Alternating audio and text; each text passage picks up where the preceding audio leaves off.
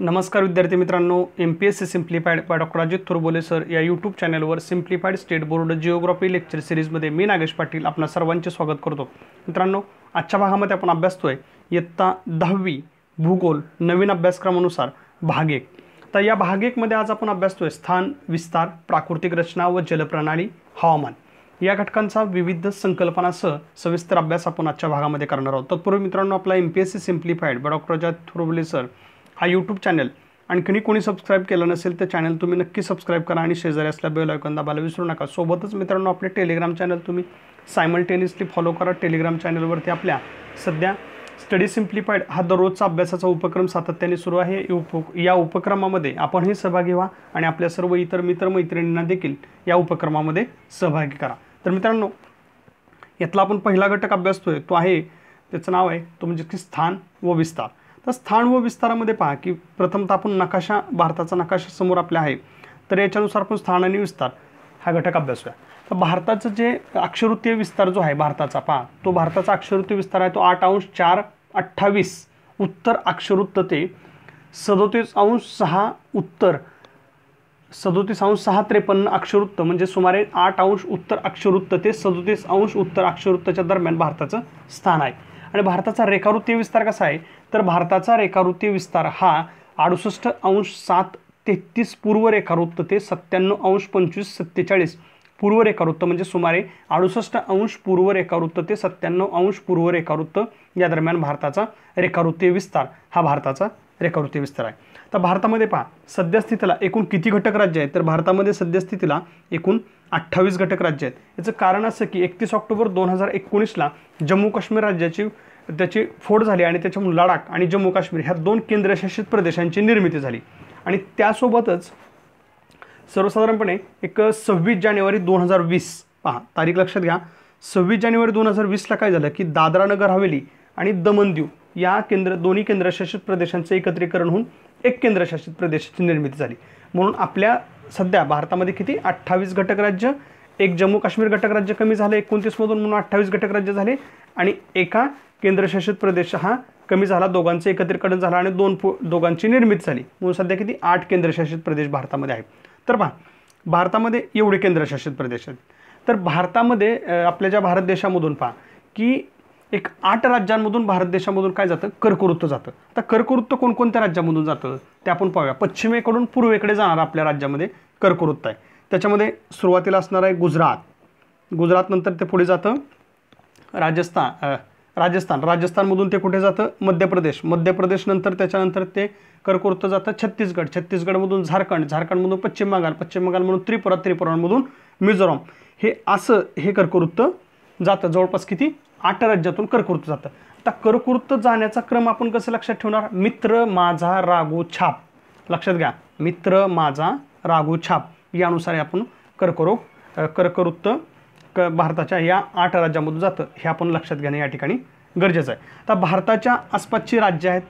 त्याच्यामध्ये आपण पाहू शकतो भारताच्या आसपासच्या राज्यांमध्ये यामध्ये पहा की आपल्याला भारत आणि त्याच्यामध्ये आपल्याला सर्वप्रथम पाहूया इकडं वायव्येला.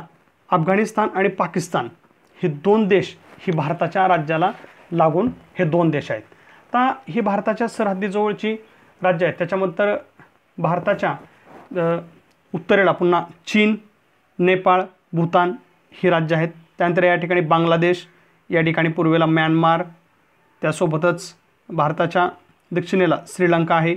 आणि भारताचा जो सर्वात शेवटचा म्हणजेच की भारताचे सर्वात दक्षिणेकडील जे टोक आहे ते इंदिरा पॉईंट म्हणून हे टोक आहे ना पहा हे नकाशा सहाय्याने आपल्याला या ठिकाणी पाहता येईल. हे इंदिरा पॉईंट हे टोक या ठिकाणी इंदिरा पॉईंट आहे. आता भारताला बांगलादेश चीन पाकिस्तान नेपाळ म्यानमार भूतान अफगाणिस्तान या देशांच्या सरहद्दी लागून आहेत. तर भारताला सर्वात जास्त सरहद्द जे आहे ना ती बांगलादेशची लागलेली आहे. ते एकूण किती किलोमीटर आहे? तर बांगलादेशची भारताला लागलेली सरहद्द जी आहे ही सरहद्द चार हजार शहाण्णव किलोमीटरची आहे. आणि चीनची किती आहे? चीनची सरहद्द भारताला तीन हजार नऊशे सतरा. लक्षात घ्या. तीन हजार नऊशे सतरा ही चीनची लागून असलेली सरहद्द आहे. त्यानंतरचा तिसरा क्रम असणार आहे तो म्हणजे पाकिस्तान. पाकिस्तानचा क्रम किती असणार आहे? तीन हजार तीनशे दहा. एवढी किलोमीटर त्याची सीमा लागून आहे. आणि नेपाळची सीमा भारताला किती आहे? तर एक हजार सातशे बावन्न किलोमीटर ही नेपाळची सीमा भारताला लागून आहे. त्याच्यानंतर म्यानमारचा क्रम असणार आहे पाचव्या क्रमांकावरती. तर म्यानमारची सीमा भारताला भारताची सीमा म्यानमारला किती आहे? तर एक हजार चारशे अठ्ठावन्न किलोमीटरची सीमा ही एकमेकाला भेटते. भूतानची सीमा किती आहे? पाचशे सत्त्याऐंशी किलोमीटर ही भूतानची सीमा भारताला लागून आहे. त्यानंतरची पुढचा किलोमीटर क्रम आहे तो म्हणजेच की अफगाणिस्तान.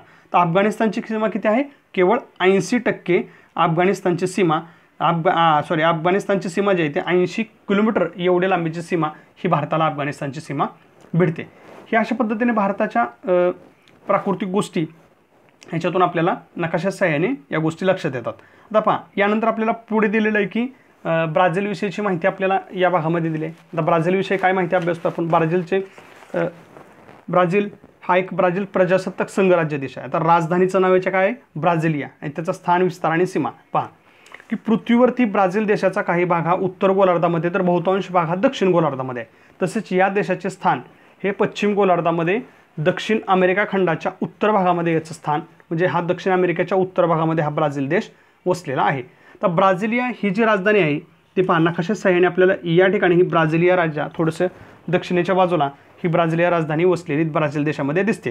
म्हणजेच की रिओ दि जेनेरो हे जे एक प्रसिद्ध ठिकाण आहे या ठिकाणाच्या थोडंसं वरच्या बाजूला म्हणजेच की रिओ दो जेनेरोच्या उत्तरेला ही ब्राझिलिया शहर वसलेलं आहे ही ब्रा- ब्राझीलची राजधानी आहे. आता ब्राझीलची काही महत्त्वाची ऐतिहासिक पार्श्वभूमी पहा की सुमारे एक दीड शतक भारत देश हा ब्रिटिशांच्या आधिपत्याखाली होता. एकोणीसशे सत्तेचाळीस साली भारताला स्वातंत्र्य मिळाल्याने स्वातंत्र्यानंतरच्या काळामध्ये पहिल्या वीस वर्षामध्ये तीन युद्धांना भारताला सामोरं जावं लागलं. अनेक भागातील दुष्काळी परिस्थितीला तोंड देणे अशा समस्या असूनही भारत हा जगातील प्रमुख विकसनशील देश आहे. भारतात आज एक प्रमुख जागतिक बाजारपेठ म्हणून ओळखला जातो आणि विविध टप्प्यावरती असलेल्या आर्थिक सुधारणामुळे भारताच्या आर्थिक विकासाला वेग हा प्राप्त झालेला आहे. तर ब्राझीलची त्याच्यानंतर भारतातील लोकसंख्येमध्ये तरुणाईचं प्रमाण हे जास्त आहे आणि कार्यशील वयोगट असलेलं भारताकडे एक तरुण देश म्हणून ते भारताला पाहिलं जातं. नंतर आता ब्राझीलची ऐतिहासिक पार्श्वभूमी पहा. तर ब्राझीलची ऐतिहासिक पार्श्वभूमी काय की ब्राझील हा देश जो आहे तो तीन शतकापेक्षा अधिक काळ हा पोर्तुगीजांच्या आधिपत्याखाली होता. ब्राझीलला अठराशे बावीस साली स्वतंत्र मिळाले आणि एकोणीसशे तीसपासून एकोणीसशे पंच्याऐंशीपर्यंत अर्ध्या शतकामध्ये म्हणजेच की अर्ध्या शतकापेक्षा जास्त काळ हा लोकप्रिय लष्करी राजवटीखाली हा यांचा काळ होता. विसाव्या शतकाच्या शेवटच्या कालखंडामध्ये जागतिक वित्तीय समस्यांमधून हा देश सावरला जा आहे आणि जगाच्या आर्थिक विकासाला हातभार लावणारा देश म्हणून भविष्यातील एक प्रमुख बाजारपेठ या दृष्टिकोनातून ब्राझीलकडे सध्याला पाहिलं जातं. आता आपला जो स्वातंत्र्य दिन आहे तो आपण केव्हा साजरा करतो? पंधरा ऑगस्टला स्वातंत्र्य दिन साजरा केला जातो. तर ब्राझीलचा स्वातंत्र्य दिन हा सात सप्टेंबरला साजरा केला जातो. म्हणजेच की पाच सप्टेंबरला शिक्षक दिन असतो. हे लक्षात ठेवायला आपल्याला सोपं आहे. पाच सप्टेंबरच्या शिक्षक दिनानंतर दुसऱ्या दिवशी दोन दिवसांनी ब्राझीलचा स्वातंत्र्य दिन साजरा केला जातो. तर भारतामध्ये संसदीय प्रजासत्ताक प्रणाली ब शासन प्रणाली ही भारतामध्ये आहे. तर ब्राझीलमध्ये राष्ट्रपती नियंत्रित प्रजासत्ताक शासन प्रणाली आहे. ब्राझील देशाचे नाव पाऊ ब्राझील. या स्थानिक वृक्षाच्या नावावरून हे ब्राझील देशाचं नाव पडलेलं आहे. आता यानंतर आपण पाहणार आहोत की भारताची प्राकृतिक रचना आणि जलप्रणाली. आता आणि ब्राझीलची त्याच्यामध्ये पण आहे. तर भारताची प्राकृतिक रचना आणि जलप्रणालीमध्ये पहा की त्यामध्ये आपण पहिल्यांदा पाहूया की भारताचे काही प्राकृतिक विभाग आहेत. आता हे विभाग कोणकोणते आहेत? त्याच्यामध्ये पहिला विभाग असणार आहे तो म्हणजेच की हिमालय. आता हा हिमालय विभाग विभागाबाबत पाहूया की हिमालयाबाबत हिमालय हा एक अर्वाचीन वली पर्वत आहे. तजाकिस्तानमधील पामीरच्या पठारापासून हिमालय पूर्वेकडे पसरलेला पसरलेला आहे. आशिया खंडातली प्रमुख पर्वत प्रणाली आहे. भारतात जम्मू काश्मीरपासून अरुणाचल प्रदेशपर्यंत हिमालय पसरलेला आहे. हिमालय ही एकच पर्वतरांग नसून हिमालयामध्ये अनेक समांतर पर्वतरांगांचा समावेश होतो. शिवालिक ही सर्वात दक्षिणेकडील पर्वतरांग आहे. ही पर्वतरांग सर्वात नवीन म्हणजेच की अर्वाचीन पर्व पर्वतरांग आहे. आणि शिवालिक पर्वतरांगेकडून पर्वतरांगेकडून उत्तरेकडे जाताना आपल्याला लघु हिमालय बृहद हिमालय म्हणजेच की हिमाद्री व हिमालयाकडील रांगा आढळतात. या रांगा अनुक्रमे अर्वाचीन ते प्राचीन अशा स्वरूपामध्ये या रांगा आहेत. आता याच पर्वतरांगांचे पश्चिम हिमालय म्हणजेच की काश्मीर हिमालय मध्य हिमालय म्हणजेच की कुमाऊ हिमालय व पूर्व हिमालय म्हणजेच की त्याचा आसाम हिमालय असे याचे भाग याचे तीन भाग पडतात. त्यानंतर आहे उत्तर भारतीय मैदान. तर उत्तर भारतीय मैदान हा एक प्राकृतिक विभाग. हिमालयाच्या दक्षिण पायथ्यापासून भारतीय द्वीपकल्पाच्या उत्तर सीमेपर्यंत हा पसरलेला आहे. तसेच तो पश्चिमेकडे राजस्थानपासून पंजाबपर्यंत पंजाबपासून पूर्वेकडे आसामपर्यंत हा पसरलेला पसरलेला आहे. तर हा भाग जो आहे तो बहुतांशी सकल सपाट आहे आणि उत्तर भारतीय मैदानी प्रदेशाचे दोन विभाग केले जातात. त्याच्यामध्ये आरवली पर्वताच्या पूर्वेकडील भाग व गंगा नदीच्या खोऱ्याचा प्रदेश असून यातील मैदानी व भाग हा गंगेचे मैदान म्हणून ओळखला जातो. या मैदानाची या मैदानाचा या मैदानी प्रदेशाचा जो उतार आहे तो पूर्वेकडे याचा उतार आहे. त्यानंतर पश्चिम भारताच्या भारताचा जो पश्चिम बंगाल आहे पश्चिम बंगाल राज्याचा बहुतांश भाग जो आहे तो बांगलादेश मिळून गंगा ब्रह्मपुत्रा प्रणालीचा एक त्रिभुज प्रदेश बनतो. या प्रदेशाचे नाव सुंदरबन आहे आणि हा जगातील सर्वात मोठा त्रिभुज प्रदेश म्हणून सुंदरबन प्रदेशाला ओळखतात. तर आता उत्तर भारतीय मैदानाच्या पश्चिम भागामध्ये वाळवंट हे वाळवंटे आहेत. यामध्ये थरचे वाळवंट त्याच्यानंतर मरुस्थळी या नावाने ही प प्रसिद्ध आहेत. आणि राजस्थानचा बहुतांश भाग या वाळवंटाने व्यापलेला आहे. तर याच्या उत्तरेकडील जो भाग आहे पंजाबचा मैदानी प्रदेश म्हणून ओळखला हा प्रदेश जो आहे तो आरवली पर्वत व दिल्ली डोंगर रांगा यांच्या पश्चिमेकडे पसरलेला आहे. या मैदानाची निर्मिती सतलज व तिच्या उपनद्यांच्या संचयन कार्यातून झालेली आहे. पंजाब मैदानाचा सर्वसाधारण उतार हा पश्चिमेकडे आहे आणि या मैदानी प्रदेशातील मृदा ही सुपीक असल्याने येथे शेती व्यवसाय हा या ठिकाणचा मोठ्या प्रमाणामध्ये व्यवसाय चालतो. त्यानंतर आहे पुढचा भाग तो म्हणजेच की द्वीपकल्प. तर द्वीपकल्प काय? की भारतीय उत्तर भारतीय मैदानी प्रदेशाच्या दक्षिणेकडे पसरलेला व हिंदी महासागराकडे निमुळता होत जाणारा प्रदेश भारतीय द्वीपकल्प म्हणून ओळखला जातो. यामध्ये यात अनेक लहान मोठे पर्वत व पठारे आहेत. यात उत्तरेकडील आरोली हा सर्वात प्राचीन वली पर्वत आहे. तर यामध्ये या भागामध्ये सपाट मैदानी त्याच्यानंतर सीमांकित करणारी पठारांची शृंखला आणि मध्य भागातील विंध्य सातपुडा पर्वत तर पश्चिम घाट पूर्व घाट असे पर्वती प्रदेश याच्यामध्ये येतात. त्यानंतर पुढचा भाग असणार आहे तो म्हणजेच की किनारी म्हणजेच की किनारपट्टीचा प्रदेश.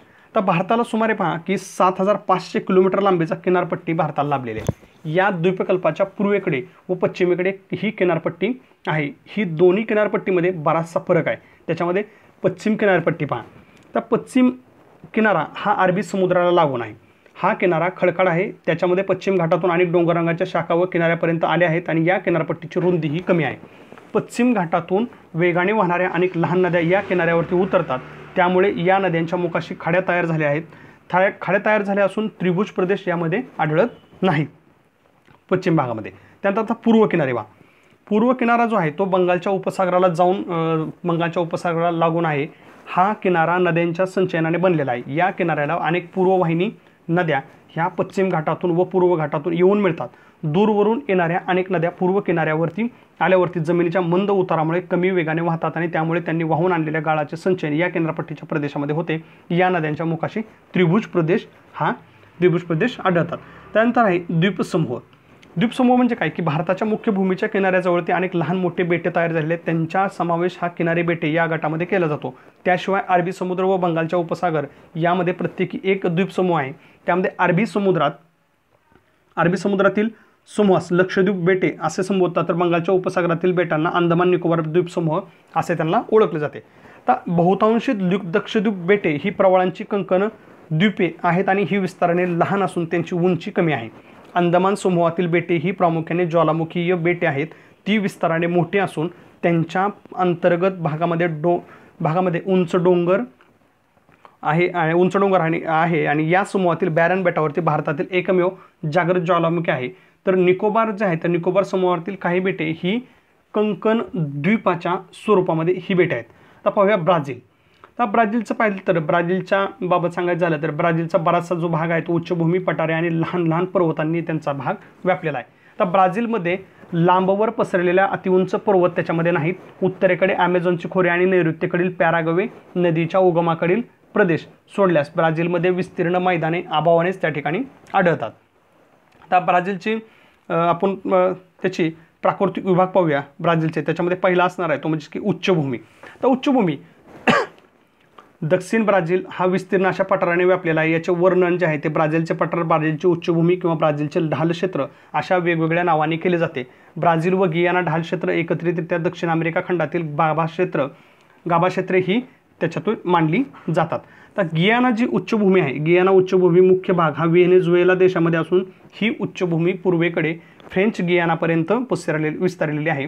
आणि गियाना उच्चभूमी ही ब्राझीलच्या उत्तरेकडील रोराईमा पारा आणि अमापा या राज्यात ती विसरले विस्तारलेली आहे.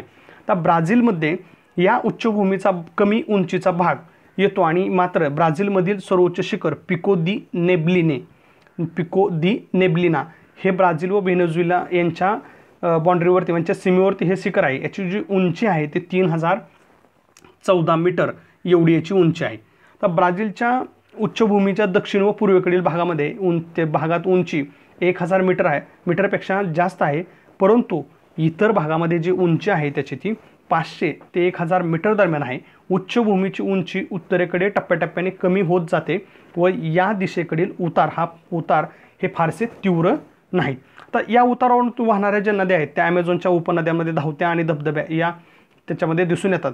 तर उत्तरकडे उत्तरेकडे जे उतार आहेत ते काहीसे तीव्र असले तरी ते अकस्मात नाहीत आणि अनेक नद्या उच्चभूमीच्या उत्तर भागामध्ये उगम पावतात व अटलांटिक महासागरात त्या नद्या मिळतात.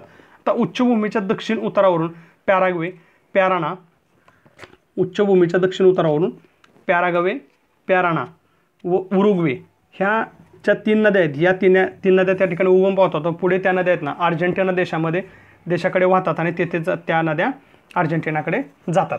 तर उच्चभूमीचा पूर्वेकडील उतार जो आहे तो अतिशय तीव्र असून तो कड्याच्या स्वरूपामध्ये दिसून येतो. आता अजस्र कडा. अजस्र कडा ही काय संकल्पना आहे की हा प्राकृतिक भाग जो आहे तो क्षेत्रविस्ताराच्या दृष्टीने सर्वात लहान असला तरी येथील उताराचे स्वरूप व त्याच्या हवामानावरती होणारा परिणाम यामुळे तो स्वतंत्र विभाग मानला जातो. उच्चभूमीची पूर्वेकडील बाजू या कड्यांमुळे अंकित होते आणि या भागामध्ये उच्चभूमीची उंची जी आहे ती सातशे नव्वद मीटर इतकी आहे. काही भागामध्ये ही उंची टप्प्याटप्प्याने कमी होते.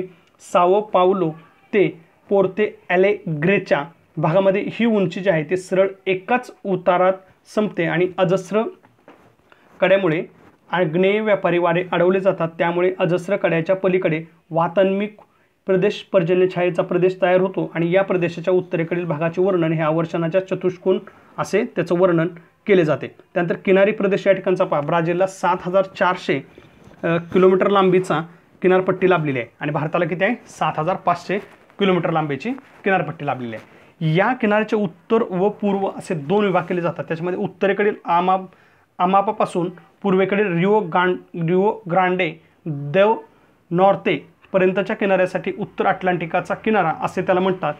तर पुढे ते दक्षिण दिशेने पसरलेल्या किनाऱ्यास पूर्व किनारा म्हणता येईल. तर उत्तर किनाऱ्यावरती ॲमेझॉनसह अनेक नद्या त्या ठिकाणी येऊन मिळतात आणि त्यामुळे ॲमेझॉन स्वानिक नद्या येऊन मिळतात. त्यामुळे हा जो किनारा आहे तो सकल बनला आहे या किनाऱ्यावरती माराजो बेट माराजो उपसागर आणि सावो मार्कोस उपसागर. माराजो हे किनारी बेट आहे आणि ते ॲमेझॉन व टोकॅन्टिस नद्यांच्या मुखादरम्यान हे तयार झालेले आहे. आता पूर्वेकडील किनाऱ्यावरती अनेक लहान लहान नद्या येऊन मिळतात आणि या भागामध्ये साओ फ्रान्सिस्को ही एक मोठी नदी अटलांटिका महासागरास मिळते आणि या किनाऱ्यावरती लांबवर पसरलेल्या पुळणी आणि तटीय वालुकागिरी ह्या ठिकठिकाणी दिसतात आणि काही भागामध्ये या किनाऱ्यावरती रक्षण हे प्रवाळ कट्टे आणि प्रवाळ बेटे यामुळे त्या ठिकाणचं रक्षण होताना दिसते. तर या ठिकाणी पुढचा भाग आहे तो म्हणजेच की मैदानी प्रदेश. मैदानी प्रदेश म्हणजे काय? की ब्राझीलमधील जे मैदान आहेत ती मैदानी प्रदेश दोन विभागातून दिसून येतो. त्याच्यामध्ये उत्तरेकडील ॲमेझॉन खोऱ्याचा भाग आणि नैऋत्येकडील पॅरागवे पॅराना नद्यांचा हा असलेला भाग. आता ॲमेझॉन हा ब्राझीलमधील सर्वात विस्तीर्ण मैदानी प्रदेश आहे ॲमेझॉनच्या मैदानाचा सर्वसाधारण उतार हा पूर्वेकडे आहे. ॲमेझॉन खोरे हे ब्राझीलच्या पश्चिम भागामध्ये रूप हे खूप रुंद म्हणजेच की तेराशे किलोमीटर एवढे त्याचं रुंदी आहे. जसे की दोन उच्चभूमी जेथून खूप जवळ येतात तेथे ही रुंदी दोनशे चाळीस किलोमीटर आहे. जसजशी ॲमेझॉन नदी अटलांटिक महासागराकडे जाते तसतशी त्याच्या मैदानाची रुंदी ही वाढत जाते. हा मैदानी भाग जो आहे तो पूर्णपणे वनांनी व्यापलेला आहे. वारंवार येणारे पूर आणि वनांच्या तळाकडील भागामध्ये जमिनीवरती वाढणाऱ्या वनस्पती. यामुळे या मैदानी प्रदेशामध्ये खूप दुर्गम बनलेला आहे. ॲमेझॉनच्या खोऱ्यातील वने ही उष्णकटिबंधीय वर्षा वने ह्या ठिकाणची वने अशा प्रकारची आहेत. तर ब्राझीलमधील दुसरा मैदानी भाग म्हणजेच की ब्राझील उच्चभूमीच्या नैऋत्यकडील पॅरागवे पॅराना या नद्यांच्या उगमाकडील भाग आहे आणि पॅरागवेच्या उगम क्षेत्राचा उतार हा दक्षिणेकडे आहे तर पॅराना नदीचा उतार हा नैऋत्येकडे आहे. तर पॅन्टानल हा जगातील जगातील उष्णकटिबंधीय पाणतळ भूमीपैकी एक प्रदेश आहे. हा जो प्रदेश आहे ब्राझील उच्चभूमीच्या नैऋत्य भागामध्ये वसलेला आहे. तर पॅन्टानल हा एक दलदलीचा प्रदेश असून तो ब्राझीलमधील माटो ग्रासो दो सुल राज्यामध्ये हा आहे आणि पॅन्टानलचा विस्तार हा ब्राझील प्रमाणे अर्जेंटिना देशातमध्ये देखील त्याचा प्रदेश विस्तार दिसून येतो. त्यानंतर पुढे आहे द्वीपसमूह. तर मुख्य भूमीशिवाय ब्राझील देशात काही बेटांचा समावेश होतो. त्याचे वर्गीकरण किनारी बेटे आणि सागरी बेटे असे केले जाते. बहुतेक किनारी बेटे ही संचयातून निर्माण झालेली आहेत आणि सागरी बेटे मुख्य भूमीतून निर्माण झालेली आहेत. तर सा सागरी बेटे ही मुख्य भूमीपासून तीनशे किलोमीटरपर्यंत पेक्षा ही दूर तर अटलांटिका अटलांटिक महासागरामध्ये आहेत आणि ही बेटे बहुतेक खडकाळ असून ती जलमग्न डोंगराच्या माथ्याचे भाग आहेत. आता दक्षिण अटलांटिक महासागराच्या किनारी भागातील बेटे ही प्रवाळ बेटे असून त्यांना कंकण द्वीप असं देखील त्यांना म्हणतात. आता प्राईड डू कॅसिनो किंवा कॅसिनो बीच ही ब्राझीलमधील अतिदक्षिणेकडील असलेली ही पूर्ण म्हणजे ही बीच आहेत. आणि ही जगातील सर्वात लांब पुळण मानली जात आहे मानले जाते. हा सलग वालोकामय किनारी असून त्याची लांबी जी आहे ना जवळपास दोनशे किलोमीटरपेक्षा जास्त या बीचची लांबी आहे. त्यानंतर ब्राझीलची जलप्रणाली पहा. तर ब्राझीलची जलप्रणाली कशी आहे की ब्राझीलमध्ये ब्राझीलच्या जलप्रणालीचा विचार करता आपल्या लक्षात येईल की ब्राझीलमध्ये ॲमेझॉनचे खोरे नैत्रिकड नैऋत्येकडील पॅरागवे पॅराना जलप्रणाली आणि ब्राझील उच्चभूमीच्या पूर्वेकडील साओ फ्रान्सिस्को व किनारपट्टीवरील इतर महत्त्वाच्या नद्या. आता याबाबत पहा. ॲमेझॉन नदीचा उगम हा पेरू देशातील अँडीज पर्वतरांगेच्या पूर्व उतारावरती होतो. ॲमेझॉनमधील पाण्याच्या विसर्गाचे प्रचंड प्रमाण त्याचे प्रचंड आहे आणि हे सुमारे दोन लाख घनमीटर प्रतिसेकंद एवढं पाण्याचं प्रमाण त्या ठिकाणचं आहे. यामुळे या नदीच्या उगमापासून नदीच्या पात्रात जमा झालेला गाळ वाहून गेला जातो. अनेक त्याला या नदीला वितरिका येऊन मिळतात. अशा ॲमेझॉनच्या मुखाशी त्या आढळत नाहीत. आणि त्याऐवजी ॲमेझॉनच्या मुखाजवळ अटलांटिक महासागरामध्ये किनाऱ्याच्या जवळ अनेक बेटे तयार झालेल्या आढळतात. ॲमेझॉन नदीच्या पात्राची मुखाजवळील रुंदी सुमारे एकशे पन्नास किलोमीटर आहे हे आपल्याला लक्षात येईल. त्यानंतर ॲमेझॉन नदीचे बहुतांश पात्र हे जलवाहतुकीसाठी हे ॲमेझॉन नदीचं पात्र हे उपयुक्त आहे. त्यानंतर आहे पॅरागवे पॅराना जलप्रणाली. तर पॅरागवे पॅरा पॅराना जलप्रणालीमध्ये या दोन नद्या ब्राझीलच्या नैऋत्य भागामध्ये आढळतात आणि या दोन्ही नद्या ब्राझीलच्या दक्षिणेकडील अर्जेंटिना देशातील प्लाटा नदीला जाऊन त्या मिळतात. आणि या दोन्ही जे नद्या आहेत त्या दक्षिण टोकाला असलेल्या उरगवे नदी यांना ब्राझील उच्चभूमीच्या दक्षिण उतारावरून पाण्याचा पुरवठा त्यांना होतो. त्यानंतर पुढे आहे साओ फ्रान्सिस्को. तर साओ फ्रान्सिस्को काय आहे की ही ब्राझीलमधील तिसरी महत्त्वाची ब्राझीलमधली ही नदी आहे. आणि या नदीचं संपूर्ण पाणलोट क्षेत्र हे ब्राझीलच्या हद्दीमध्ये येते आणि ब्राझील उच्चभूमीच्या पूर्व भागामध्ये हे पाणलोट क्षेत्र आहे. या भागामध्ये सुमारे एक हजार किलोमीटर अंतरापर्यंत ही नदी काय होते? उत्तरेकडे वाहते. तर ही नदी उत्तरेकडे न उत्तरेकडे वाहते व त्यानंतर ती पूर्वेकडून पूर्वेकडे वळून अटलांटिका महासागरामध्ये ती मिळते आणि साओ फ्रान्सिस्को न नदी ती सुमारे दोनशे पन्नास किलोमीटर लांबीचा भाग हा जलवाहतुकीसाठी योग्य आहे. तर या ठिकाणी पाहणं कशामध्ये आपल्याला दिसत आहे की पॅराना नदी आणि उरुग्वे नदी.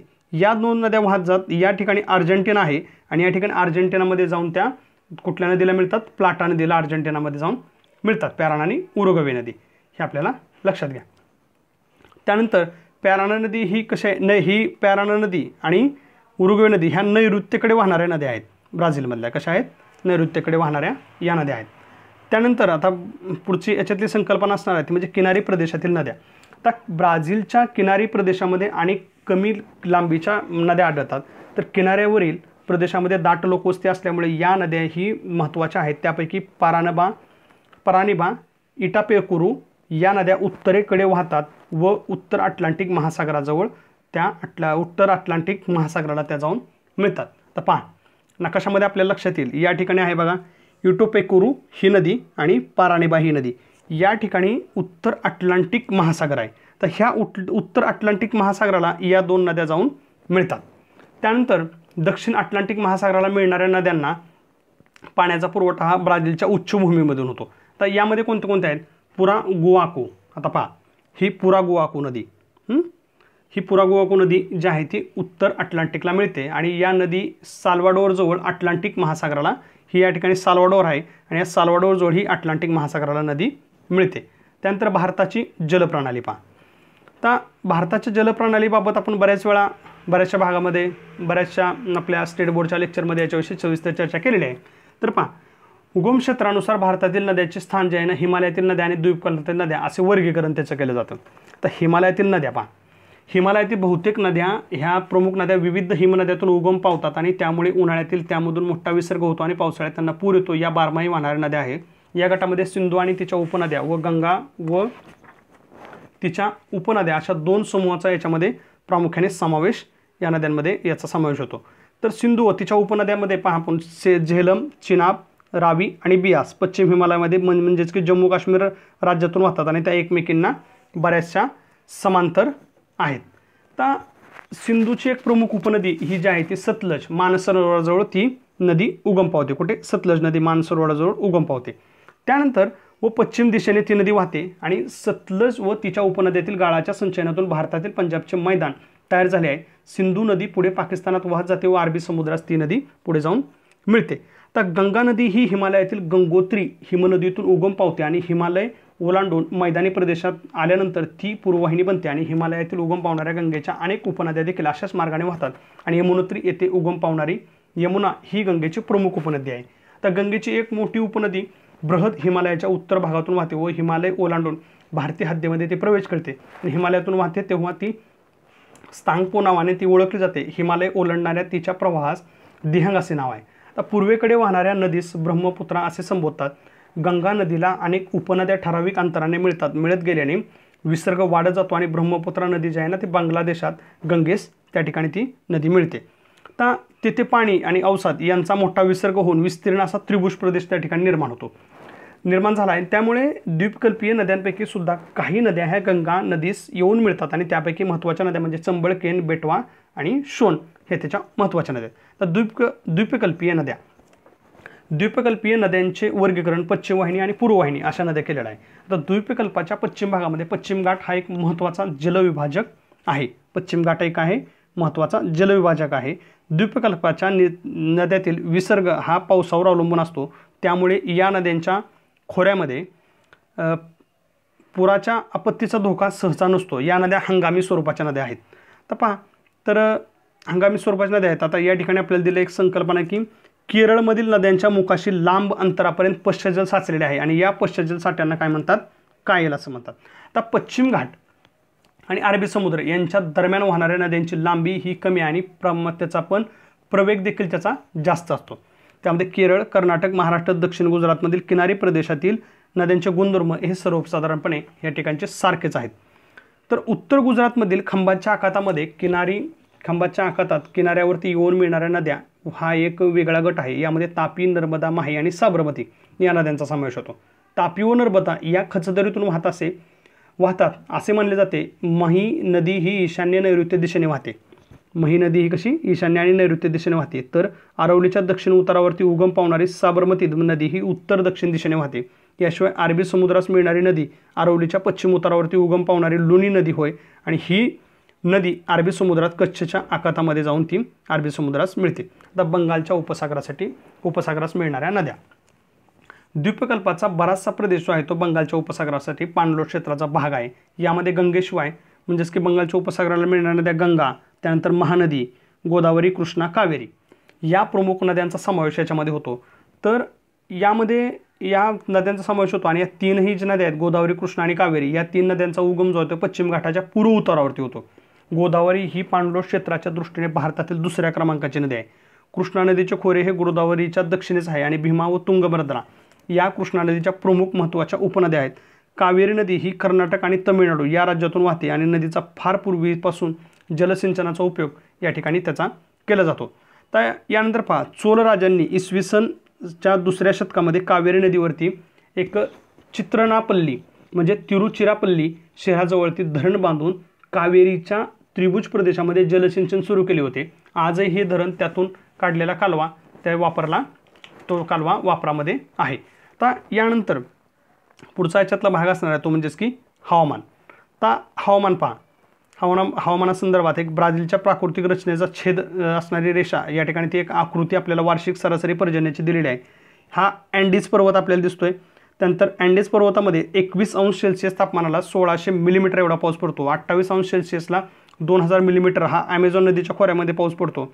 त्यानंतर या ठिकाणी पॅरागवे पॅराना खोरा जे आहे दक्षिणेचं त्या ठिकाणी एकोण एकवीस अंश सेल्सिअसला पंधराशे मिलीमीटर एवढा पाऊस पडतो. त्यानंतर ब्राझीलची जी उच्चभूमीचा प्रदेश आहे त्या ठिकाणी तेवीस अंश सेल्सिअसला तर स्व सहाशे मिलीमीटर एवढा पाऊस पडतो आणि किनारी भागामध्ये या ठिकाणी सत्तावन्न अंश सेल्सिअस तापमानाच्या तापमान असताना त्या ठिकाणी आजस्तर कड्याच्या जवळ बाराशे मिलीमीटर एवढा किनारी प्रदेशामध्ये त्या ठिकाणी पाऊस पडतो.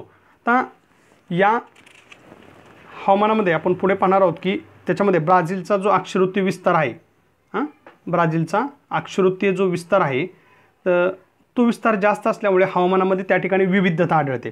जसे विषुवृत्ताजवळ उष्ण तर मकरवृत्ताच्या दक्षिण दक्षिणेस त्या ठिकाणी समशीतोष्ण हवामान त्या ठिकाणी आढळून येते. तर आग्नेय तसेच ईशान्य दिशेकडून येणाऱ्या पूर्वीय व्यापारी वाऱ्यापासून या देशात पाऊस पडत असतो. तर ब्राझीलच्या उच्चभूमीचा काही भाग हा उत्तरेकडील किनाऱ्यापर्यंत आहे आणि समुद्रावरून येणाऱ्या वाऱ्यांना अजस्त्र कड्यापासून अडथळा निर्माण होतो. त्यामुळे किनारी भागामध्ये किनारी किनारी भागामध्ये प्रतिरोध प्रकारचा पाऊस त्या ठिकाणी पडतो. तर हा प्रतिरोध प्रकारचा पाऊस पडतो आणि उच्चभूमीच्या पलीकडे वाऱ्यांचा प्रभाव हा कमी होतो. त्यामुळे तेथे अत्यल्प पाऊस पडतो आणि ब्राझीलमध्ये हा पर्जन्यशाळेचा प्रदेश आहे. हा प्रदेश ईशान्य दिशेस आढळतो. या शुष्क प्रदेशास आवर्षण चतुष्कोन असेही त्याला संबोधले जाते. त्यानंतर पहा तापमानाच्या संदर्भात ब्राझीलचा उत्तरेकडील प्रदेश जो आहे तो प्रदेश हा उष्ण आहे आणि तर दक्षिणेकडील प्रदेश हा याचा दक्षिणेकडील जो प्रदेश आहे त्या प्रदेशाचे तापमान त्या तुलनेने खूप कमी आहे आणि यात ऋतुमानानुसार विविधता आढळून येते. तर ब्राझीलच्या किनारी भागामध्ये विषुवृत्ताजवळ तापमानामध्ये फारसा फरक पडत नाही. या प्रदेशामध्ये वाऱ्याचे ऊर्ध्व दिशेने वहन होते. तसेच व्यापारी वाऱ्यांचा एकत्रीकरणाचा पट्टा या भागामध्ये शीन असल्यामुळे आवर्त निर्माण होत नाहीत. म्हणूनच ब्राझीलच्या किनारी भागामध्ये वादळे फार क्वचितच दिसून येतात. त्यानंतर या देशाचा बहुतांश भाग जो आहे या देशाचा बहुतांश भाग हा उष्ण कटिबंधीय कटिबंधामध्ये हा भाग येतो आणि देशाच्या उत्तरेकडील भागामध्ये भागातून या ठिकाणी विषवृत्त जाते. या भागामध्ये हवेचे तापमान जास्त असते. ॲमेझॉनच्या खोऱ्यामध्ये सरासरी पंचवीस अंश ते अठ्ठावीस अंश सेल्सिअस एवढं त्या ठिकाणचं तापमान असते. तर उच्चभूमीच्या प्रदेशामध्ये हवा थंड असते. समुद्रामुळे किनारेपट्टी प्रदेशामध्ये हवामान हे सौम्य व आद्र असते आणि ॲमेझॉनच्या खोऱ्यामध्ये सुमारे दोन हजार मिलीमीटर एवढा जास्त प्रमाणामध्ये त्या ठिकाणी दोन हजार मिलीमीटर एवढा पाऊस त्या खोऱ्यामध्ये ॲमेझॉनच्या खोऱ्यामध्ये पडतो. तर आग्नेय किनारपट्टीवरती एक हजार ते बाराशे मिलीमीटर दरम्यान त्या ठिकाणी पाऊस पडतो. आता पाहूया भारत. तर भारताचे हवामान जे आहे ते मान्सून प्रकारामध्ये भारताचे हवामान मोडते. भारता भारत देशाच्या मध्यातून कर्कवृत्तापर्यंत सूर्यकिरणे लंबरूप पडतात. यामुळे या प्रदेशामध्ये सरासरी वार्षिक तापमान हे अधिक असते तसेच ते दक्षिणेकडे वाढत जाते आणि हिवाळ्यामध्ये जम्मू काश्मीर हिमालयन पर्वतीय क्षेत्रातील काही भागात तापमान हे मायनस चाळीस अंशपेक्षाही खाली तापमान येते. तर भारतातील हवामानातील वैविध्य प्रामुख्याने अक्षवृत्तीय स्थान आणि समुद्रसपाटीपासूनची उंची यामुळे निर्माण झाले आहे. तर हिंदी महासागर व हिमालय पर्वताचा भारतीय हवामान व मान्सूनवरती एक मान्सूनच्या निर्मितीवरती त्याचा परिणाम दिसून त्याचा मोठा प्रभाव दिसतो. तर हिवाळ्यामध्ये सॉरी हिमालयामध्ये उत्तरेकडे येणारे अतिथंड वारे हे अडवले जातात. त्याचप्रमाणे नैऋत्य मोसमी वारे हिमालयाच्या शिवालिक व हिमाचल रांगांपासून परत फिरतात. पंजाबचा मैदानी प्रदेश व राजस्थानचा थर वाळवंटामध्ये उष्ण हवामानामुळे उन्हाळ्याच्या सुरुवातीला कमी दाबाचा पट्टा निर्माण होतो निर्माण होतो. त्यामुळे महासागरातील जास्त दाबाच्या पट्ट्याकडे भारताच्या मुख्य भूमीकडे वारे वाहू लागतात आणि या बाष्पयुक्त वाऱ्यांमुळे भारतामध्ये पाऊस पडतो. हा पाऊस जो आहे तो पश्चिम व पूर्व घाटाच्या अडथळ्यांमुळे किनारी भागामध्ये जास्त प्रमाणामध्ये पडतो परंतु घाटाच्या वातविन्मुख प्रदेशात हा पाऊस कमी पडतो. हे वारे आरोरी पर्वतांना समांतर होतात त्यामुळे गुजरात आणि राजस्थानच्या या भागामध्ये पाऊस कमी पडतो. हे जे वारे आहेत ते पुढे हिमालयाकडे जाऊ लागतात. त्यांची बाष्पधारण जी क्षमता आहे. यांची. ती वाढते आणि हिमालयाच्या नैसर्गिक तटबंदीमुळे तटबंदीमुळे पुन्हा प्रतिरोध पाऊस पडतो आणि हिमालयाच्या रांगांपासून हे वारे जे आहेत ना परत फिरतात. परत फिरतात आणि त्यांचा परतीचा प्रवास हा सुरू होतो. ईशान्येकडून हे वारे हिंदी महासागराकडे परतताना द्वीपकल्पाच्या काही भागामध्ये पुन्हा पर्जन्य आणतात. हा मान्सून परतीचा काळ असतो. भारताचे एकूणच हवामान हे वर्षभर उष्ण स्वरूपाचे हवामान आहे. त्यानंतर कर्कवृत्त हे भारताच्या साधारणपणे मध्यातून जातं. आपण सुरुवातीला पाहिलं भारताच्या आठ राज्यातून कर्कवृत्त जातो. त्याचा आपण कोड देखील पाहिला होता मित्र माझा रागू छाप. त्याच्यावरून आपल्याला तो लक्षात येईल. त्यानंतर हे कर्कवृत्त भारताच्या मध्यातून जात असल्यामुळे भारताला उष्णकटिबंधीय प्रदेशामध्ये गणले जाते. अनियमित पाऊस दुष्काळ चक्रीवादळे पूर इत्यादी नैसर्गिक आपत्तीचा सामना बरेचदा आपल्या देशाला भारताला करावा लागतो. भारतीय हवामानशास्त्रज्ञ शास्त्राने एक भारतामध्ये चार ऋतू मानलेले आहेत. त्याच्यामध्ये उन्हाळा त्यानंतर पावसाळा मान्सून म्हणजे परतीचा मान्सून आणि हिवाळा असे चार ऋतू भारतामध्ये मानले जातात. त्यानंतर तपा की जे आपले राजस्थानातील गंगानगर येथून जून महिन्या येथे जून महिन्यामध्ये ना जवळपास पन्नास